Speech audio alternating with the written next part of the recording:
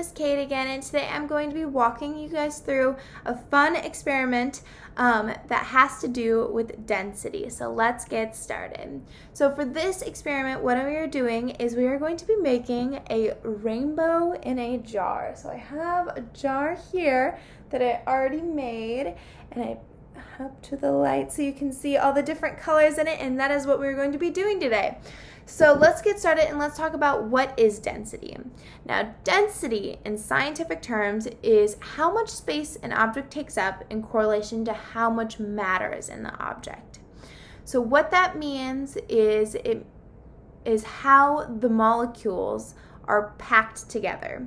So now molecules are groups of atoms together. Now atoms are the smallest form of life. Everything makes up atoms. Um, so we're made of atoms, this table's made of atoms, the house is made of atoms, everything can be broken down um, into atoms. And what molecules are is when those atoms are grouped together.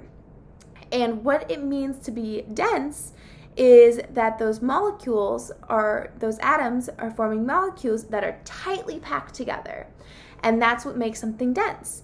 Um, so when those atoms are loosely packed together, then it is less dense. So what we're going to be doing today in our rainbow in a jar experiment is we are going to be testing the density of some household liquids that you guys might have at home. So I have five different liquids here. I have water, rubbing alcohol, dish soap, corn syrup, and vegetable oil. And what I want you guys to do right now is I want you to make a hypothesis. And a hypothesis, remember, is an educated guess.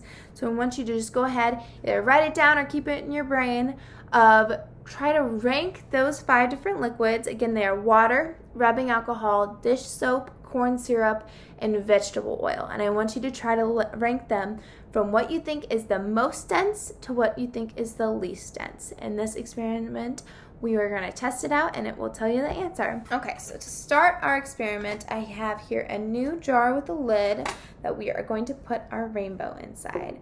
So what we have to do is we have to put our bottom layer on and that is going to be our most dense. Now, out of all of those, try to think of the most dense is going to be the thickest.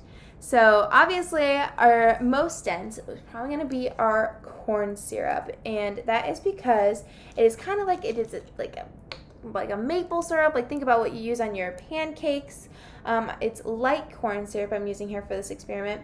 What you're going to do is you're going to pour one fourth cup into your jar just like that and we want it to be a rainbow so we are going to make it purple I have here my primary color food dye. And to make our purple, we are going to mix a little bit of our red and our blue. So we have our first layer down, and that is our purple. And that is going to be our most dense liquid, our corn syrup. So moving on, we have to have our next, which is going to be our blue layer. And think about what do you think is the next step. So we still have vegetable oil, dish soap, rubbing alcohol, and water. So again, think about the kind of consistency of your substances. Um, so our most dense was our corn syrup, right? And that was our thickest and it moved really slow. So maybe think about what other object might be moving really slow. And that is gonna be our dish soap, right? And our dish soap I already have here is blue. So we're gonna add that in and just add about a fourth of a cup. You can see it right here. We have our purple and now we have our blue. Alrighty, so we have our purple and we have our blue. So now we need our green. So uh, the three liquids we have left is rubbing alcohol, water, and oil. So what did you think is going to be the third most dense? And the answer to that is it is going to be your water. Yeah, so this one's the, those three are kind of hard because they're all kind of the same consistency, but it is actually water that we are going to use. So I have some water here, and we need to turn our water green in our rainbow. So I pour some into a cup. I'm to do a little less. Try to do about a fourth of a cup. And we want to make it green, so we are going to add in some blue and some yellow. And this experiment also tests your color mixing here. Um, so go ahead and pour that into your jar. You might see that your water and dish soap might try to combine a little and form some bubbles on top, but it should mostly stay separated. So now we have our purple, our blue, and our green. Alrighty, so we only have two liquids left to see who is going to be the least dense out of our liquids that we have. Um, so is it going to be our oil or is it going to be our rubbing alcohol? It is going to be our oil. Yeah, so I have our oil here and our oil is already yellow. So I'm just gonna add it on top of the green mixture here.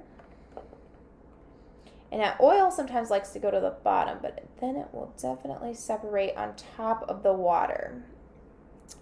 And oil, we often see um, being used as kind of like an experiment for density because um, you think about stuff like salad dressing or anytime you mix like oil or water or oil and vinegar, you'll see the two separate a lot of the time. So now you can see we have our yellow layer, our green layer, our blue layer, and our purple layer.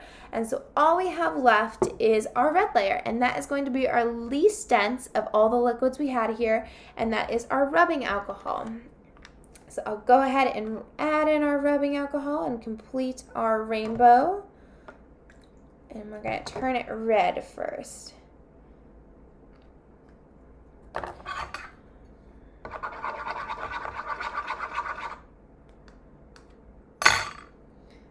We will add in our top layer here. Give it a second to kind of separate out. Alrighty, so I just added our lid on top of our jar and there we have it. We have our rainbow in a jar we just made. So from those five liquids, from our corn syrup, our dish soap, our water, our oil, and our rubbing alcohol, we have them all layered here and it shows the different densities. So now you know what all the different densities of those liquids are and how you can test to see what is the least and most dense. Another fun experiment that you can do after you make your jar is you can go ahead and mix it up, either give it a swirl with its tight lid on, or you can take a spoon and mix it around. Um, but you'll see that they will start to uh, turn into one, but slowly will separate out again. Like you can see all the different bubbles rising back to the top of the surface, and your purple has already settled back down to the bottom again. If you give it time, it will slowly turn back into a rainbow again. Um, and again, that is because of the different densities in the liquids and that they are able to float on top of each other and make this really cool experiment. So I hope you try this at home and have fun with it. And I hope you learned a little bit more about density. I hope you guys have a great rest of your week and I will see you again soon. Thanks. Bye.